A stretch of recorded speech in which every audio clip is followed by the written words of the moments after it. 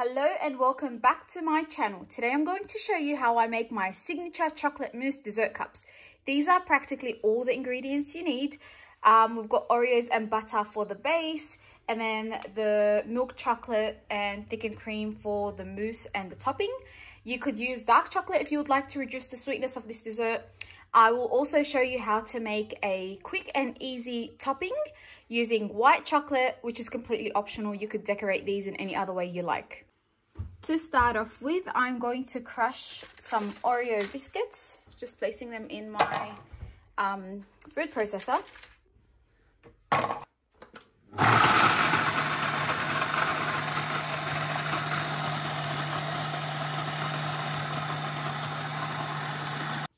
The Oreos are all crushed, as you can see. Now I'm going to melt some butter in the microwave and add the butter to the Oreos butter goes on.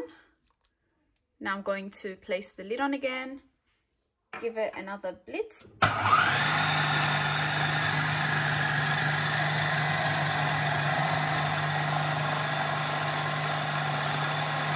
So this is what we want the Oreo mix to look like, practically like wet sand or dry mud. Um, we're going to place this at the base of our dessert cups. Now, in my saucepan, I have placed some thickened cream and I'm going to add the chocolate melts. They all go in here over medium heat. And using my whisk, I'm just going to stir the chocolate continuously until it completely melts.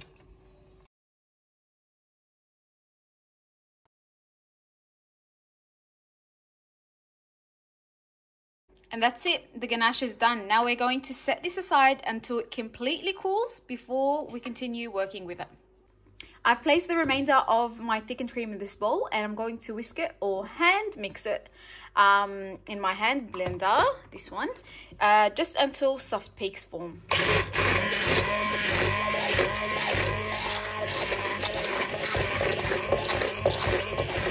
Now this is the consistency we want. Um, don't whip it till it, it forms hard peaks because um, you are at a higher chance of over whipping the cream when you mix the chocolate in. So when you do it soft peaks like this, if you uh, fold and mix the chocolate in, it gives you more chance of um, achieving a beautiful mousse texture without it being over whipped. Alright, the ganache has cooled down completely. You could put it in the fridge for a little bit to speed up the cooling process. As you can see, it has gone thicker as well. Now, I have reserved a little bit of the ganache in here, um, about eight tablespoons. That's going to go for the topping. And this is what we're going to now fold into the whipped cream. Pour the cooled ganache over the cream and gently, using a spatula, fold them into each other. Um, this is how you fold. So you go from the bottom up, bottom up until it's completely well combined. Um, do not aggressively mix because you can over whip your cream and um, the folding ensures that you end up with beautiful airy textured mousse at the end. I place the ganache and the chocolate mousse in piping bags. It makes it way easier to fill the cups um, with less mess. This is what they look like once they're filled. Um, then for the layering of the cups, we start on the base with the crushed Oreos. Um, I put about two teaspoons, but it really depends on the size and the shape of the cups that you're using. And then um, use any wooden piece you have in the kitchen to push it down and pack the Oreos at the base of the cups. Then we go in with the chocolate mousse. So as you can see, the piping bag makes it so much easier to fill these cups um, with the mousse. Ideally, I would place this in the fridge for two hours before I add the ganache layer. But honestly, I was in a hurry when I was making this video, so I just added the ganache on top. Just make sure the ganache is runny but not hot when you place it over the chocolate mousse. Then place your cups in the fridge for at least 4 hours um, before serving. Now I'm going to show you how to make some super cute white chocolate decorative pieces for the chocolate mousse. I've got my white chocolate melts in here.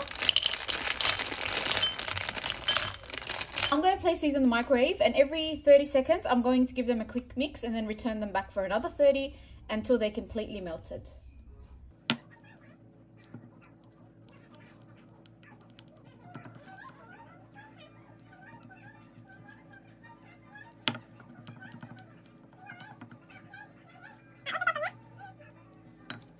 Once your chocolate is melted, place it in a piping bag.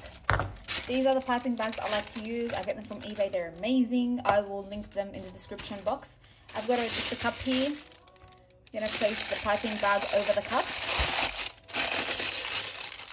Makes it easier to get the mixture in.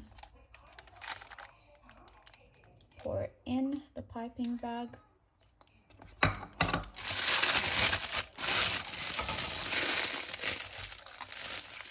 There we go.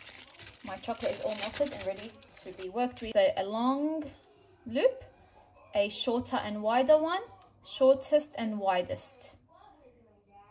And you repeat until you have enough of these decorative pieces for your chocolate mousse. You could totally make these in advance and then store them in an airtight container or something um, until you're ready to decorate your dessert or a cake.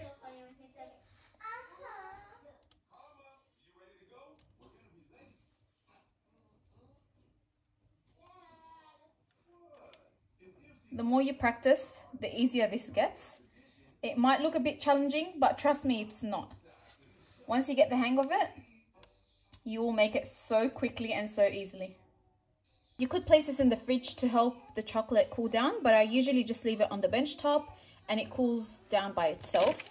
Um, I totally recommend you use Nestle rather than Cadbury chocolate. I find that Cadbury chocolate doesn't set as easily or as quickly as Nestle.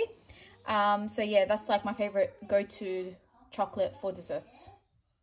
And there you have it, decadent chocolate mousse dessert cups that will definitely satisfy your sweet cravings. Find the full recipe in the description box below. Make sure you subscribe to my YouTube channel and check out my Instagram page where I share many other recipes as well.